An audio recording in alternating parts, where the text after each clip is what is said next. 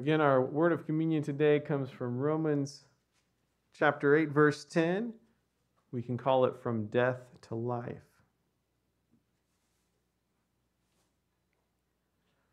So today we celebrate Resurrection Sunday, Amen. or what traditionally we call Easter. Now, as some of you probably know, when Jesus resurrected from death to life, it was the first day of the week. That was a Sunday.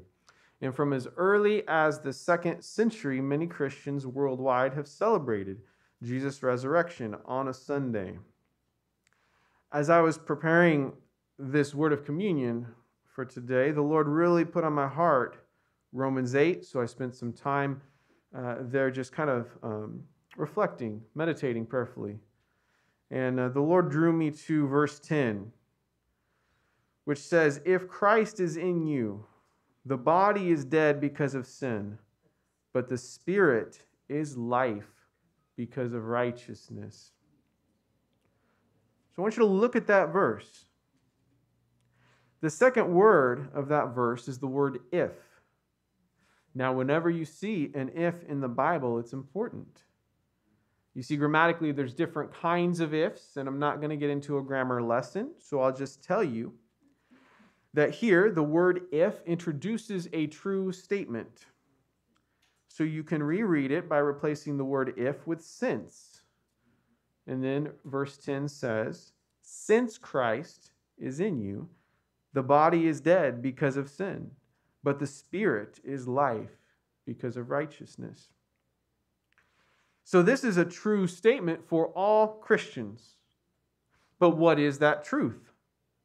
Notice the two natures, body versus spirit. Notice the two states, dead versus life. And notice the two characters, sin versus righteousness. The idea here is this for those of us who have trusted in Jesus, we have an earthly, fleshly, natural body that is spiritually dead as a result of our sinfulness. However, we also have the heavenly, eternal Spirit indwelling us, giving us life as a result of Christ's righteousness. Amen. Now, the atheist who rejects God, the agnostic who says we can't know God, the deist who believes God doesn't exist or believes God does exist but doesn't trust in Jesus, the morally decent person of any religion who rejects Jesus, and the Christian all have in common that our natural bodies are dead as a result of sin. See, you're not special. Even if you're a Christian, you're not special. Christians are like everybody else. We have the same blood in our veins, the same greed in our bellies, the same selfish desires, and the same pride in our hearts. But there is a key difference because as sincere believing Christians, we have the Holy Spirit living in our hearts, making us spiritually alive as a result of the righteousness of Jesus Christ. Now, I, I grew up in church, and for me, what I remember about Easter was a very heavy emphasis on Jesus' crucifixion and death. On Good Friday, the, the youth group did this play, and it was a very dramatic play. Um, it had a big wooden cross that the lead character would actually carry down the aisle. And then the worship leader would sing an old song called Watch the Lamb. It was a very powerful experience. But then Easter Sunday came, and my brother and I would wake up. We'd go find our Easter baskets filled with candy and trinkets. We'd get dressed up in our Sunday best. We'd go to church, where all the adults would ask us about candy and the Easter bunny. Now, none of that is wrong per se, but somehow I missed that whole part about the importance of the resurrection. It wasn't really till I was older, really in high school, I started going to the sunrise service, that I began to understand that Easter is about the resurrection, and the resurrection is just as important as the crucifixion. Now, as an adult, I'm still learning about why the resurrection is so important. So think about this the resurrection is the proof that Jesus has the power to forgive sins. It's the proof that Jesus is the resurrection and the life, as he told Martha right before raising Lazarus. That Jesus is the way, the truth, and the life, as he answered Thomas during the Last Supper. That is, Paul wrote in 1 Corinthians 15 17, if Christ is not risen, your faith is futile and you are still in your sins. But Jesus did rise. And by rising from death, he triumphantly proclaimed victory that he just accomplished through the cross and the grave, securing victory over sin and death for every one of us.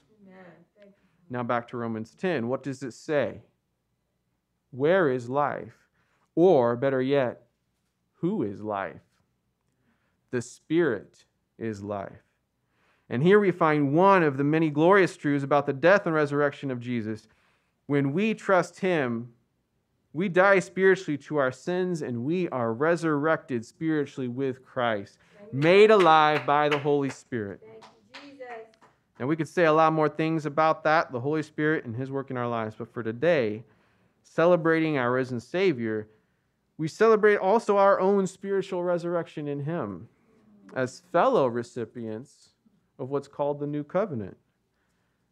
Our birth in the Spirit, who indwells our hearts and breathes life into our souls, as He comforts, corrects, and guides us daily in our new life in Christ. And so let's take communion together. We have these wonderful little cups. There's a top layer of cellophane you remove to get to that wafer. So, of course, the, the elements represent Christ and his death. The wafer is his body broken for us. Let's take and eat.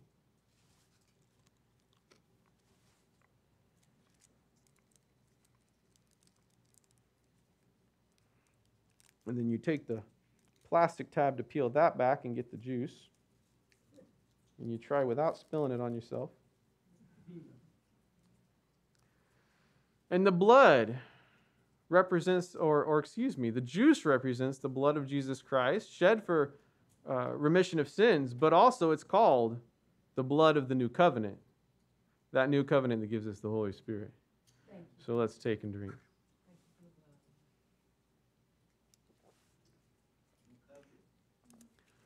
Father, all we can say is thank you and continue to put on our hearts and remind us the glory, the beauty, the joy, the peace we have with you through our Savior and Lord Jesus Christ because of his death on the cross.